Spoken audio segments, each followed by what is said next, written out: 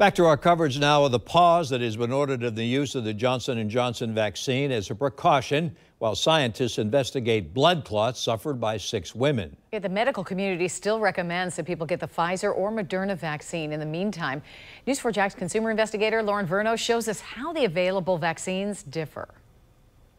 So these are the four most common vaccines available right now, Johnson & Johnson, Pfizer, and Moderna. These three vaccines were approved by the FDA for use in the U.S. Now, AstraZeneca has been approved for use in other parts of the world, but not here in the U.S., primarily over concerns of potential blood clot issues, similar to the six cases in Johnson & Johnson's. Now, here's where each of the vaccines line up and how they work. So let's start with Johnson & Johnson right here. They use a weakened version of a virus called adenovirus. Then you have Pfizer and Moderna. They use that mRNA technology.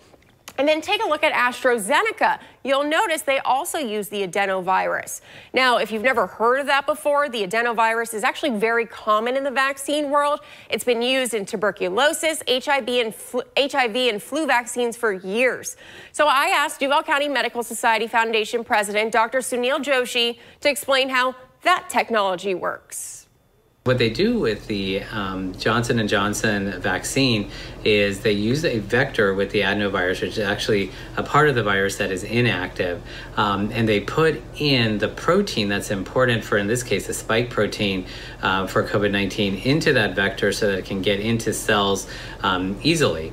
And once that happens, the body is triggered to create antibodies, which in this case would be COVID-19. Now, on the other hand, Pfizer and Moderna, they use mRNA technology, which does not use any virus, dead or alive, but instead it sends directions to the cells to create those spiked proteins. Now, Dr. Joshi says AstraZeneca and Johnson & Johnson, their vaccines are actually very similar. But if you are hesitant about getting the vaccine, after the announcement about those blood clots, it should not deter you from getting Pfizer and Moderna's vaccine because, well, they're completely different and they have a higher effective rate. Tom, Mary. Thank you, Lauren. And to stay up to date on the latest vaccine headlines, sign up for our free newsletter delivered right to your inbox. Just head to news4jax.com slash newsletters.